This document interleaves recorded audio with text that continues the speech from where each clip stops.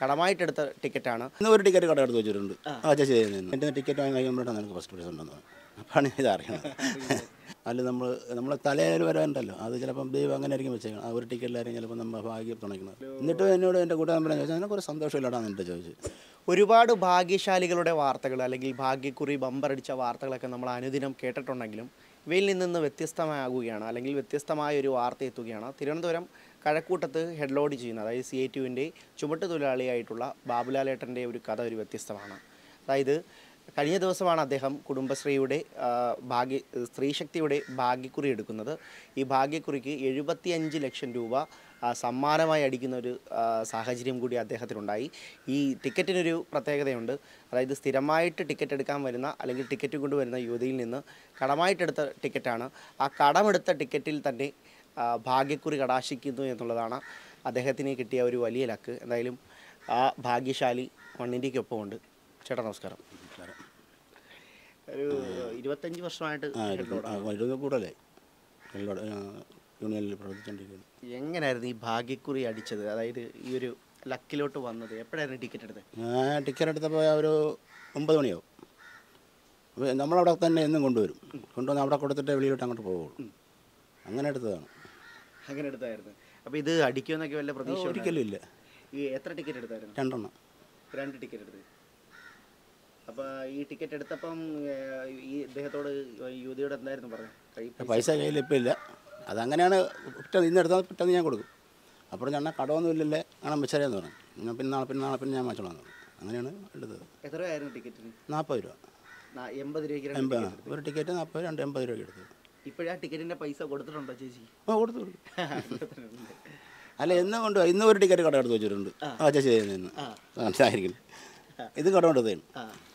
ഇന്നും കട എടുത്തു? പൈസ ഉണ്ടായിരുന്നു. എന്നിട്ട് ഞാൻ പറഞ്ഞു ഇത് കടം വന്നാൽ മതി. എത്ര വർഷം കൊണ്ട് ലോട്ടറി എടുക്കും അങ്ങനെ അങ്ങ് സ്ഥിരമായിട്ടൊന്നും എടുക്കില്ല വല്ലപ്പോഴും ഇങ്ങനെ തോന്നണമെങ്കിൽ എടുക്കും. ഇങ്ങനെ അടിക്കുമെന്ന് ഇങ്ങനെ ഒരു ഭാഗ്യം വരും ഒരു പ്രതീക്ഷയില്ല. ഒരു പ്രതീക്ഷയില്ല. എത്ര വർഷമായിട്ട് ഈ ഹെഡ് ലോഡ് വീട്ടിലെ ഒരു അവസ്ഥ ആരൊക്കെ ഉണ്ട് വീട്ടിൽ എന്റെ ഭാര്യയുണ്ട് രണ്ട് മക്കളുണ്ട്. ഭാര്യ വീട്ടിൽ ജോലിക്ക് പോകും.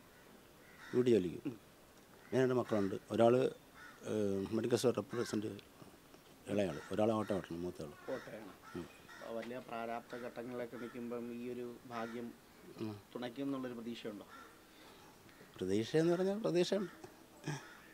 അല്ലാതെ ഈ പെട്ടെന്ന് എനിക്ക് ഇങ്ങനെ ഒരു ഭാഗ്യം ഉണ്ടാവും എന്നുള്ളൊരു പ്രതീക്ഷയൊന്നും ഇല്ല ഇനിയും നമ്മുടെ ഇപ്പം ഭാഗ്യം തുണച്ചെന്ന് വെച്ച് ജോലി നിർത്താൻ ഒരിക്കലും ഇല്ല അത് തന്നെ മരണം വരെ അതിൽ തന്നെയായിരിക്കും. ഇന്നലെ എപ്പോഴായിരുന്നു ഈ വാർത്ത? ആരാ വിളിച്ചു പറഞ്ഞു അനിയൻ വിളിച്ചു പറഞ്ഞു വിളിച്ചു ആ പറഞ്ഞു എന്റെ അടുത്ത് ചോദിച്ച് അപ്പോൾ ഞാൻ ഇവിടെ കിടക്കായിരുന്നു ആ. മൂന്നര കഴിഞ്ഞ് നാല് മണിയായി. അപ്പോൾ എന്റെ മോനും ഉണ്ടായിരുന്നു മൂത്തവനും ഉണ്ടായിരുന്നു.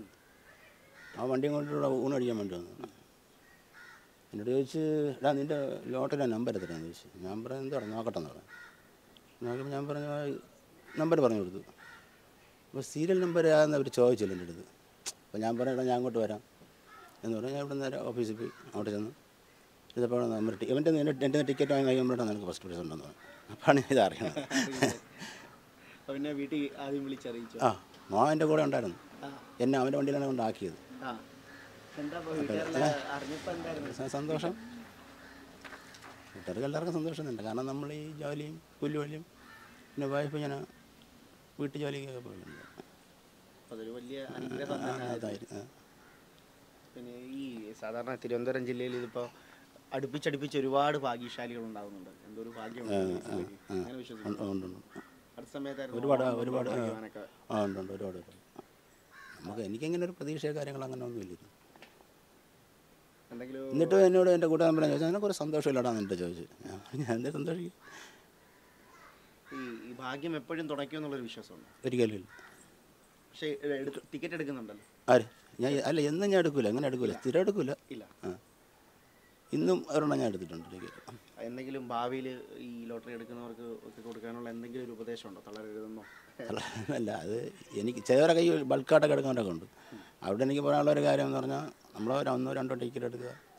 അല്ല നമ്മൾ നമ്മളെ തലയിൽ വരാനുണ്ടല്ലോ അത് ചിലപ്പം ദൈവം അങ്ങനെ ആയിരിക്കും വെച്ചേക്കണം ആ ഒരു ടിക്കറ്റിലായിരിക്കും ചിലപ്പോൾ നമ്മൾ ഭാഗ്യം തുണയ്ക്കുന്നത് ചേട്ടന്റെ തലവരെ മാറിയത് കുടുംബശ്രീ ടിക്കറ്റിലാണ്. തീർച്ചയായിട്ടും. എന്താണ് അടുത്ത പ്ലാൻ എങ്ങനെയാണ്? എന്തെങ്കിലും ബിസിനസ്സിലോട്ടോ ഇല്ല. എനിക്ക് സ്വന്തമായിട്ട് ഇത് നമ്മുടെ കുടിയടപ്പ് വസ്തുവാണ്. ഇത് നമ്മൾ കഷ്ടപ്പെട്ടാണ് ഇത്രയൊക്കെ ചെയ്ത് വെച്ചേക്കണം ഒരുപാട് കഷ്ടപ്പെട്ടാണ് ചെയ്തേക്കണം അപ്പോൾ എവിടെ നിന്ന് എവിടെയെങ്കിലും ഒരു അഞ്ച് സെന്റ് പത്ത് സെന്റ് തറ മേടിക്കുക ഒരു വീട് വയ്ക്കുക ഒരു വീട് സ്വന്തമായിട്ടൊരു എനിക്കൊരു വീട് വേണം. പ്രമാണം പട്ടയം വേണം ആ എന്നുള്ളത് അത് സ്വപ്നം. അതിന്റെ ഒരു സ്വപ്നമായിരുന്നു അത് ദൈവമായിട്ട് എത്തിച്ചു എന്നുള്ളതാണല്ലേ? അതിന്